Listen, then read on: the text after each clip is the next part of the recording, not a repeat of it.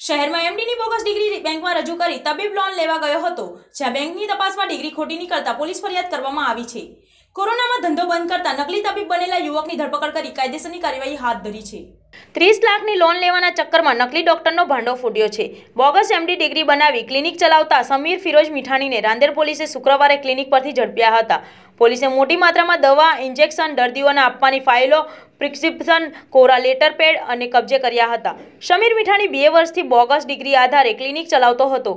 Bogus doctor Sameer મીઠાણીને ત્રીસ લાખની loan લેવા માટે બેંકમાં ગુજરાત કાઉન્સિલ અમદાવાદ અને medical council of India new દિલ્હીનું ખોટું પ્રમાણપત્ર લોનમાં મૂક્યું હતું.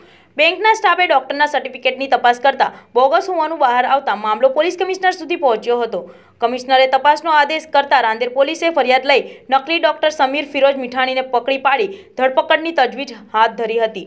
પોલીસે વધુમાં કહ્યું હતું કે આરોપી ડોક્ટર સમીર મીઠાણીએ ધોરણ બારમાં કોમર્સ પાસ કરેલું છે અને તે ઓટોમોબાઈલના ધંધા સાથે સંકળાયેલો હતો.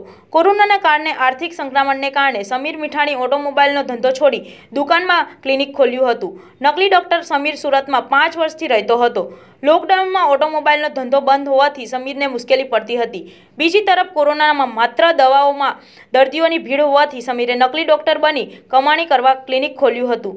સમીરે એમડીની ડિગ્રી માટે ગુજરાત કાઉન્સિલ, અમદાવાદ અને medical council of India, new દિલ્હીમાં બીજા નામનું સર્ટિફિકેટ ગૂગલ પરથી શોધી એમાં એડિટ કરી પોતાનું નામ લખી ક્લિનિકમાં લટકાવી દીધું હતું. જી.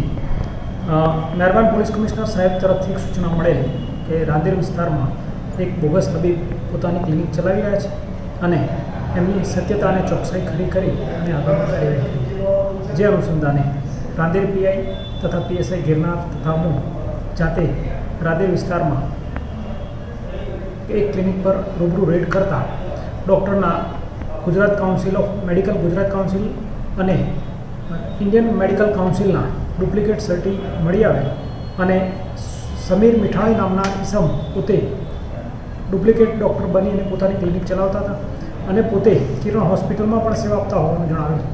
જેનું પણ એક ડુપ્લિકેટ આઈ કાર્ડ અમને મળ્યું છે અને મેડિકલ સર્ટિની ચોકસાઈ કરતાં ખરેખર સર્ટિફિકેટ ખોટા હતા.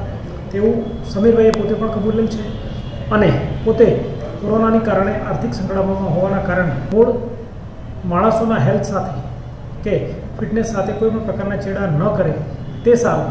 અમે તેઓના વિરુદ્ધ કાયદેસરની કાર્યવાહી કરેલ છે. સર છેલ્લા કેટલા સમયથી આ કૃત્ય કરતો હતો અને આ બાબતે કંઈક વધુ તપાસ? સમીરભાઈ મૂળે ચોગઠ તાલુકો ઉમરાળા ભાવનગરના છે. છેલ્લા પાંચેક વર્ષથી સુરતમાં આવેલા.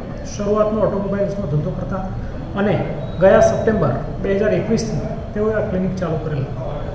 સુનિલ પાટીલ સાથે હિતેશ પ્રજાપતિ સમય મીડિયા ન્યૂઝ સુરત.